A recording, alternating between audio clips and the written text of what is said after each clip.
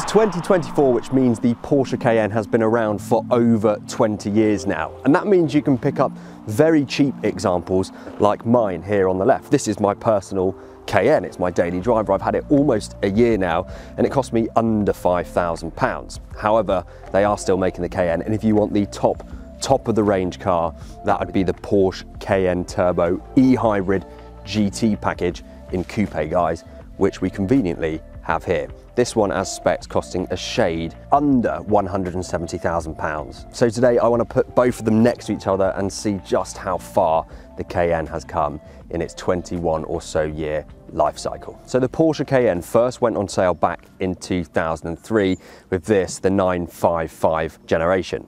It was initially offered with a 4.5 litre V8 engine, which produced around 340 horsepower. And then you could get the turbo, which had an incredible 450 horsepower. Now, really, the Porsche Cayenne, the 955, it was the first performance SUV, well, ever. It started this chain reaction that we are really experiencing now, where everyone wants a performance SUV. The Lamborghini Urus, the Audi RSQ8, these are all, as a result, of the Porsche Cayenne. Porsche did it first. So when they made the Cayenne, they wanted to make sure that it still carried forward some of that performance heritage and feel in how the car drives. And we'll get onto that in a little bit, but most importantly, this was a true off-roader. It has locking differentials. On better models than mine, you can get air suspension and also we have a low range gearbox. So this truly is capable off-road. And most people forget about the 955 Cayenne Turbo S, which only ran for one year in 2006. Very few numbers of cars made, partly because of their insane price tag at the time. But it produced 520 horsepower from that same 4.5 litre V8 block, which made it the second most powerful car Porsche had ever made at the time, only behind the Carrera GT. So these cars do carry some real, well, history and provenance. And I think they are now quite special, especially when you can pick them up so cheaply. And this here is essentially the £170,000 modern day equivalent to that 955 Cayenne-S just 18 years later, because this is the most powerful Cayenne you've ever been able to buy. 520 horsepower back in that 955 Turbo S. This one, 730. I mean, it's astronomical. Now it generates that power, I'm pleased to say, chiefly from a four litre V8 engine, which is very similar to what you do find in the Audi RSQ8 and the Lamborghini Urus.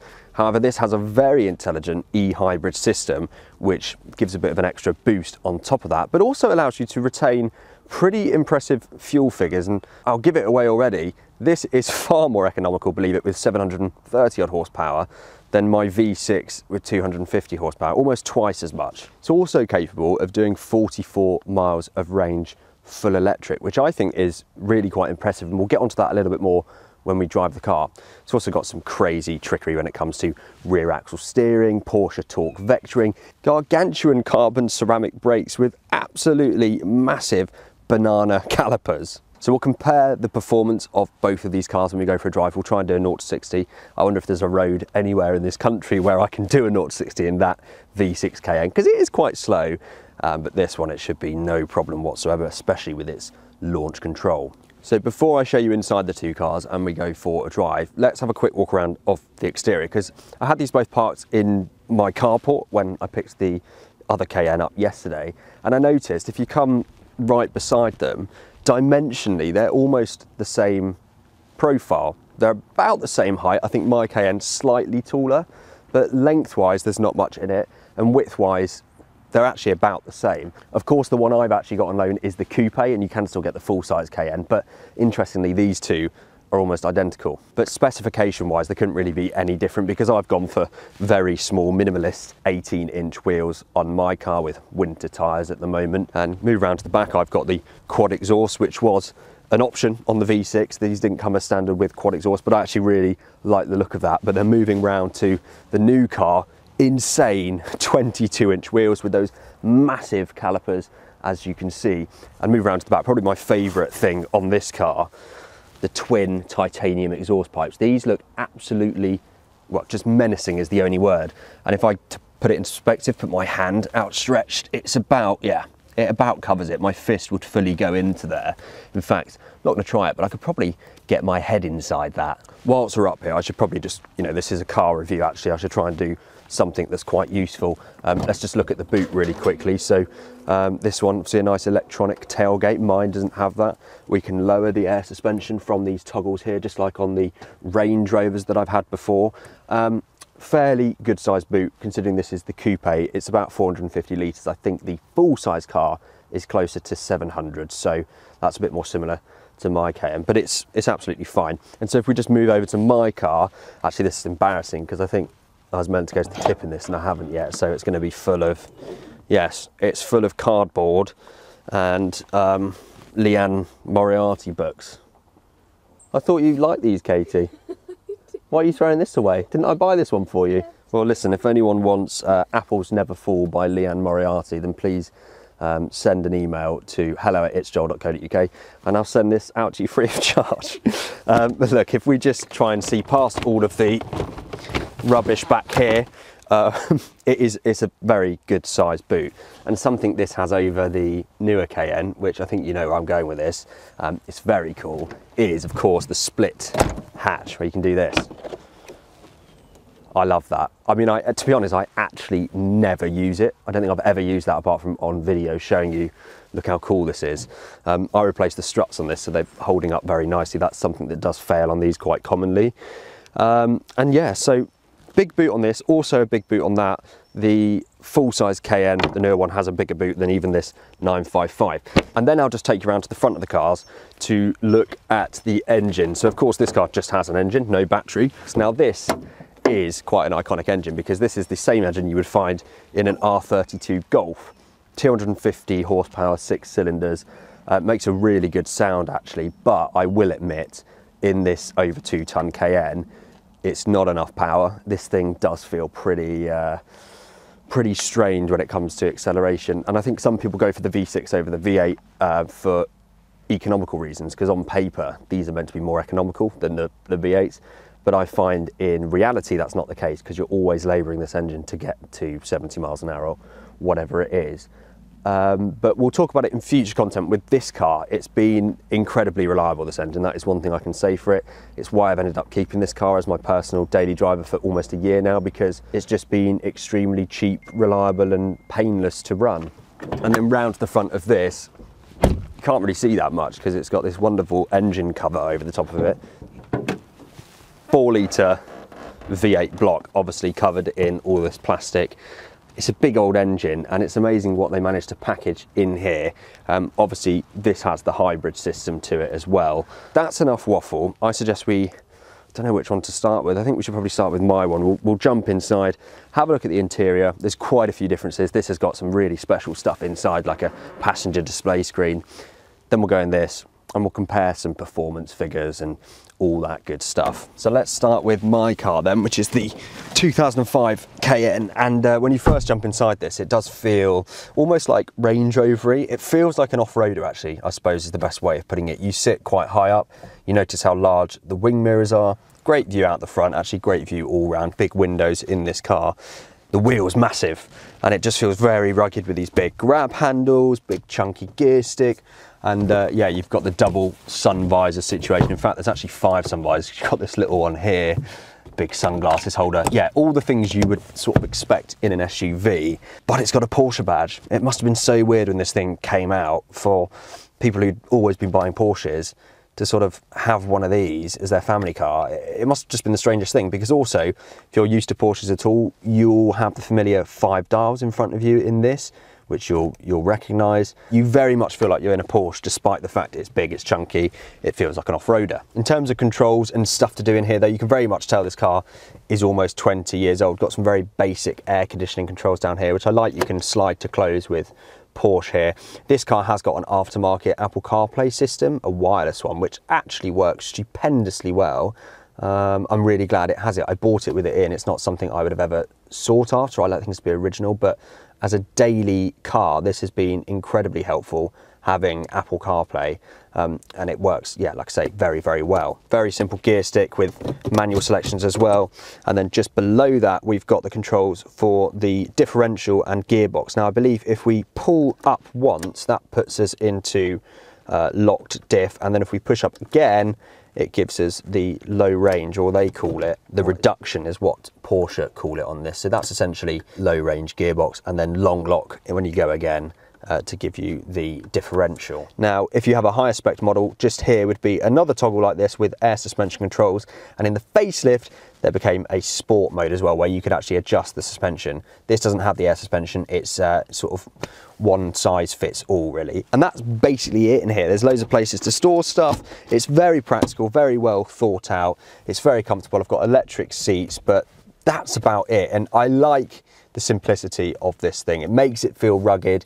It's fairly simple and there's not all that much to go wrong. So it's lovely inside. Let me quickly show you the back um, to show you how much space there is back there because you might be quite surprised. Back here then, another sea of black in this car because it's a very boring black leather interior and um, it's really spacious. You notice how high the roofline is. I'm pretty short, to be honest. I'm only five foot 10 or so, but uh, there's no problems for room. This seat is in my driver's position. And as you can see, there's, you know, I could fit a bus in between my knees in the back of that seat.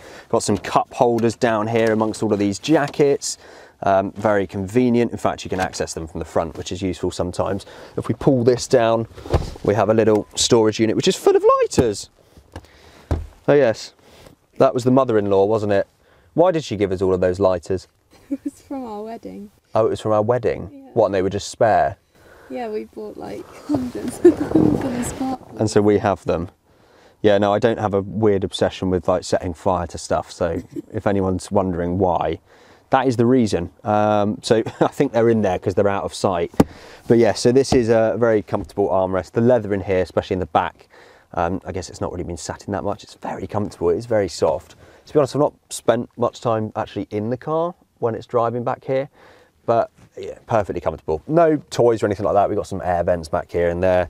This one's very basic, like I say, so there's no heated seats, but that was available on most models, um, as well as things like a nice suede headliner was sort of standard on the turbos and above. Big chunky handles, some lights here. That's about it, but very, very roomy, very, very spacious and um, yeah, I've never had any complaints from any passengers back here. So a lovely, lovely thing. But let's uh, let's jump into the the new one because there's a lot more to talk about in there. Okay, and inside the 2024 Cayenne Turbo e-hybrid coupe with GT package. I think I've got that nailed now. Uh, it's very different. Where do we even start? There's so much more to talk about. So many noises of things switching on before I've even put any sort of key in the ignition. There is no ignition, it's just a start stop button now. But you'll notice that's in the same place as where the keyhole slot is in the original Cayenne.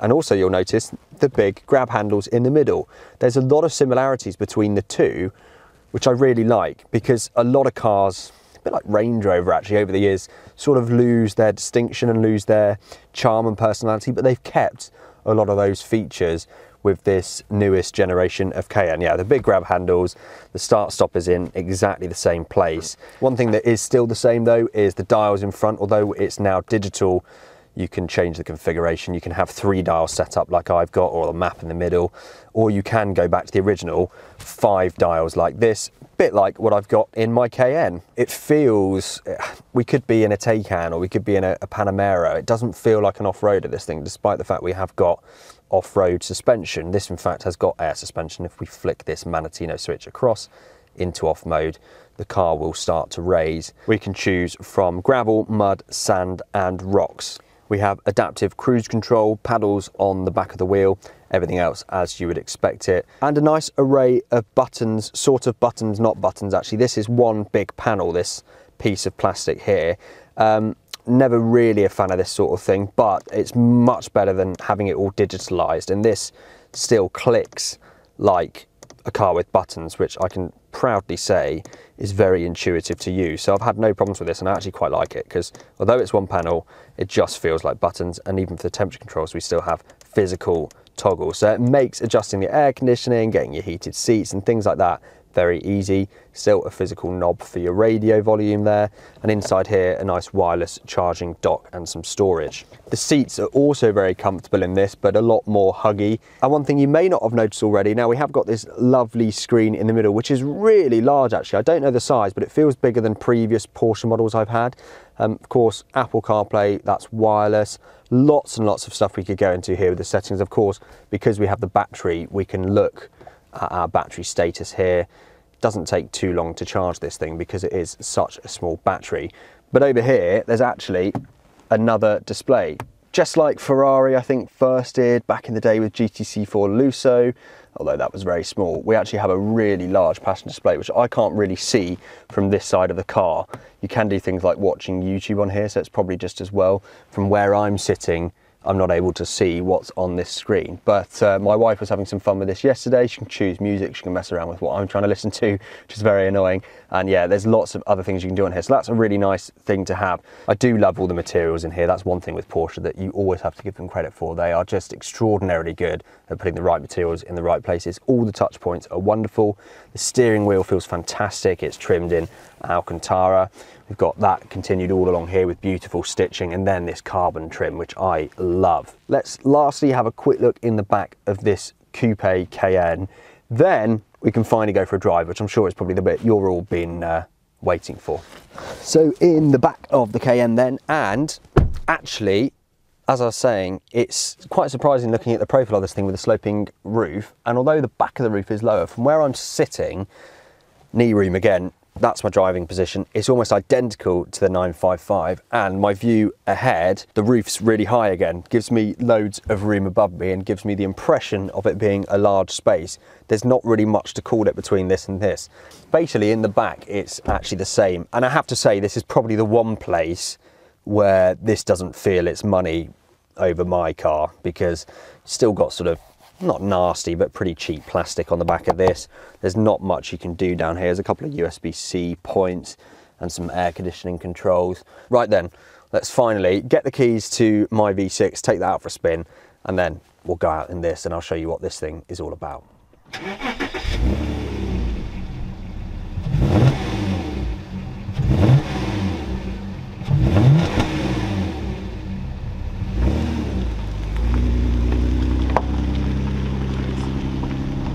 So here we are then out on the road in my V6 955 Cayenne. And I want to immediately preface this by saying if you're in the bucket of people that's thinking about buying one of these, absolutely go for it because this has been one of the best cars I've ever owned. It's certainly the best daily driver I've ever had, and I've had quite a few.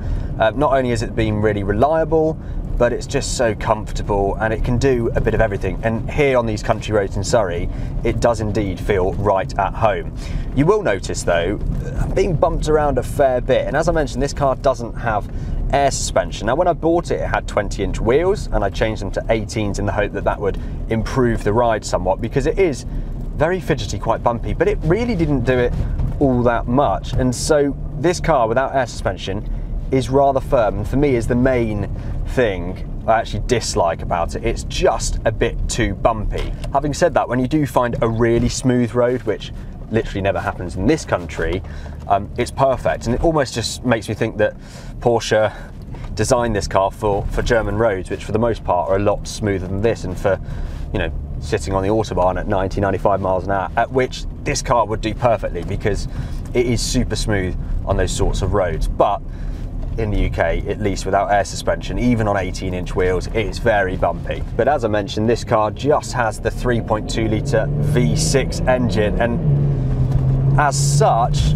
this is sort of three quarters power now. It takes a rather long time to get up to the national speed limit, which in this country is 60. In fact, there it is. And if you're wondering, by the way, I have got an engine warning light on this car. Not filled with it for probably six or seven months, and the engine warning light decided to come on literally a couple of days ago. Now, do you remember at the start of the video when I said that when Porsche brought this Cayenne out, they were Porsche, the performance car company. In fact, they still are, but they wanted the Cayenne to still have that element and hint of dynamicism that the Boxsters, the 911s had before it. And I'm pleased to report that they got that just right with this Cayenne straight off the bat. This thing handles absolutely fantastically considering the fact it's a big old SUV. You can actually have quite a lot of fun with this thing, although it's a little bit slow. If you barrel into corners, it does respond very nicely. And as you can see, the steering, now it's not as sharp as a Ferrari, but it's very, very good considering what the car is and how old it is now.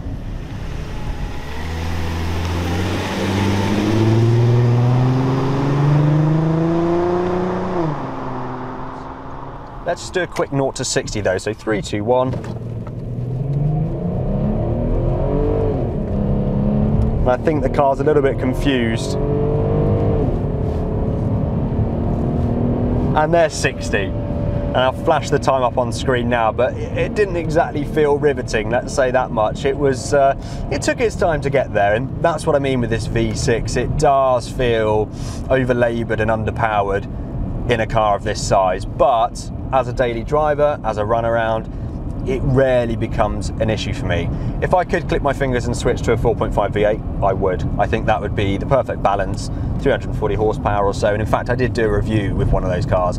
If you want to watch that now, you can click in the top right hand side of the screen. If you're in the market of people that's looking for a cheap winter run around, um, I can strongly, strongly recommend the 955 Cayenne. I'd probably say to go for a 4.5 and if you fancy it, go for a turbo because then you get all of the sort of optional extras, air suspension, quilted headliner or Alcantara headliner as standard and you know you can get them also rather cheaply. So let's swap cars now. Let's jump in the new 739 PS Cayenne Turbo E Hybrid and um, let's take that thing for a drive because it really is quite an insane piece of kit.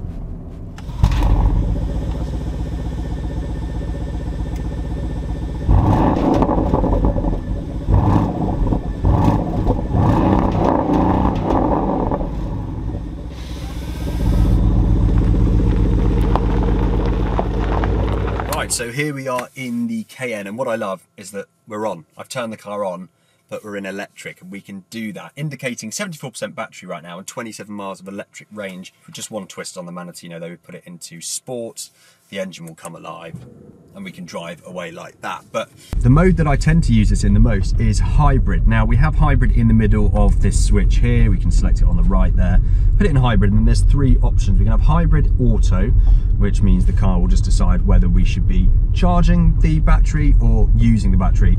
We can force it into e-charge, which means that at a higher speed, the petrol combustion engine will charge my battery. Now that was something I was using because I didn't charge the battery at home last night and on a 10 or so mile drive here this morning it charged from 60% up to about 74%. It's on 74% now actually, so I think it was 74%. And uh, I didn't go above 40 miles an hour, so that was quite handy. It was charging the battery, but that comes at the expense of a little bit of fuel economy.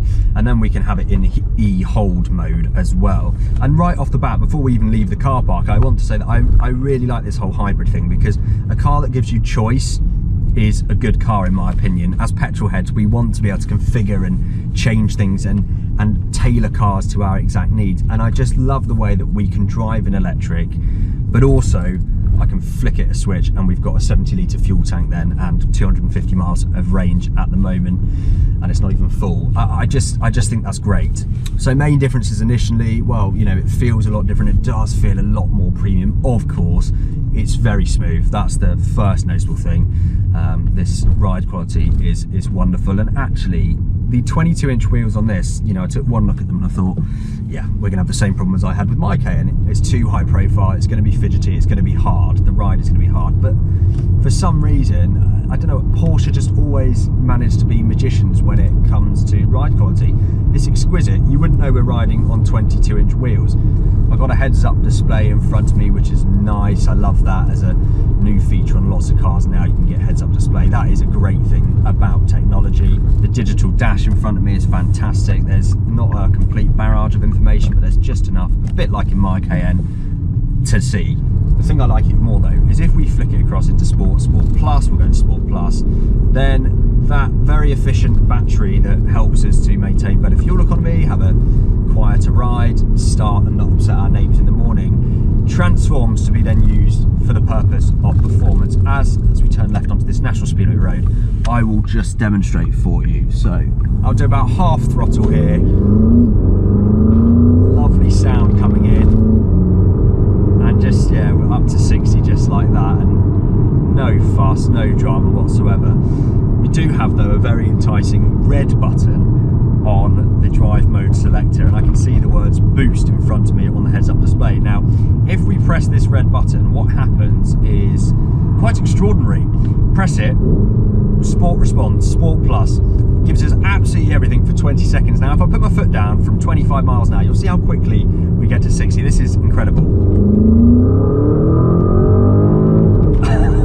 Not even out of second gear and we're already over 60 miles an hour. It is absolutely absurd power. But I think what I should really do to demonstrate the sheer performance of this car is a quick launch control. So if we in Sport Plus, slam our foot on the brake, hold the power down, launch control activated.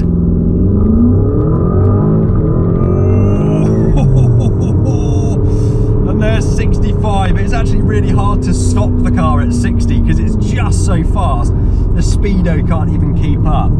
It is, you know what? It is so fast. And I often shout all the time about how cars are just too fast and you don't need it. And, and that is absolutely the case with this thing. But what I love about this thing is the fact that we've got the hybrid mode. So it's not like we are constantly paying in terms of fuel economy for that performance because in hybrid mode the thing can be quite efficient. And here we go, look, the car's gone into electric mode and we're conveniently going past a school now and we're not upsetting anyone. No one's going to look at this thinking, oh, look at him in his expensive 700 horsepower Porsche because to the untrained eye, it probably just seems like I'm just in one of those electric cars. So that for me is the big difference. You can really choose when you want to utilize all the power and when you don't want to be utilizing all of the power you can then select the battery to be working more efficiently for you and be using that additional power for efficiency purposes and that I think is really key with this and I, I really love it. And oh I've not even gotten to the handling of this thing yet which I will do for you now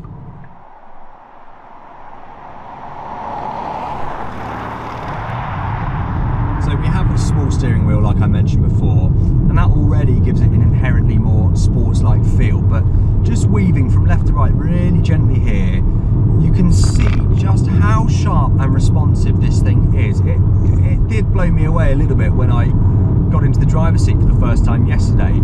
It's just incredibly responsive and it really, I mean if there's anything that masks its size and its and its relative weight, uh, this is it because you just have absolutely no idea that you're in a Cayenne. I mean, I can't actually believe that they can make cars, Porsche can make cars, um, handle this well, that are this, you know, practical and usable.